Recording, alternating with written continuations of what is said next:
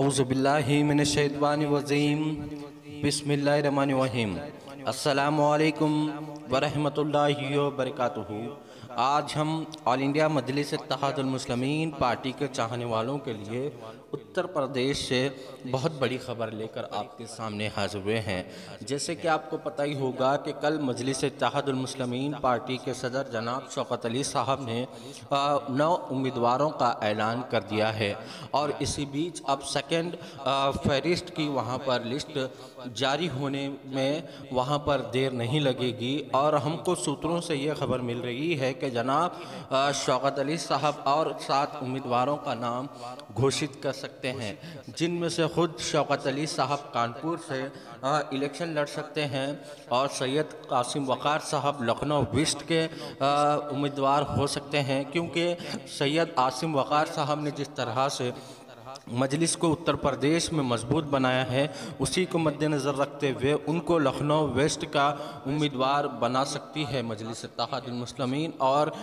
यहाँ पर शौकत अली साहब का और टीम वक़ार साहब का नाम बिल्कुल तय माना जा रहा है और उसी के साथ ही साथ प्रयागराज से मजलिस मुस्लिमीन पार्टी के उम्मीदवार हो सकते हैं अतीक अहमद साहब जो प्रयागराज वेस्ट, इलाहाबाद वेस्ट से उम्मीदवारी पेश कर सकते हैं। और नंबर चार पर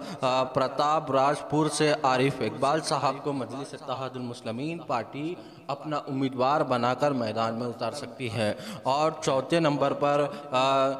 प्रयागराज से, जिस तरह से अतीक अहमद साहब की बातचीत हो रही थी इलाहाबाद में, उनका काफ़ी अच्छा प्रभाव है और उस सीट से उनकी अहलिया यहाँ से उम्मीदवार बन सकती है। और उसी के साथ ही साथ डॉक्टर मन्नान साहब के चर्चे उतरोला में बहुत तेज़ी से चल रहे हैं और यहाँ पर इन ताला मजलिस डॉक्टर मन्नान साहब का टिकट उतरोला से यहाँ पर तय माना जा रहा है और उसी के साथ ही साथ इसरा अहमद साहब फ्राम प्रतापगढ़ सदर जो मजलिस मुस्लिमीन पार्टी के सदर हैं, उनको भी यहाँ पर उम्मीदवार बना सकती है मजलिस मुस्लिमीन पार्टी। और उसी के साथ ही साथ, हम सही, हम सभी के चहेते और हम सभी के हरदिल अज़ीज़ इरफान पठान साहब, जो टांडा विधानसभा से लगातार मेहनतें कर रहे हैं, उन्हीं मेहनतों का नतीजा है कि टांडा विधानसभा से इरफान पठान साहब को मजलिस ने टिकट देकर अपना उम्मीदवार बनाने की घोषणा कर दी है और वहाँ पर उनका टिकट लगभग तय माना जा रहा है। तरह से यहाँ की आवाम, टांडा विधानसभा की आवाम, जिस तरह से इरफान पठान साहब के साथ डटी हुई है और एक दीवार की तरह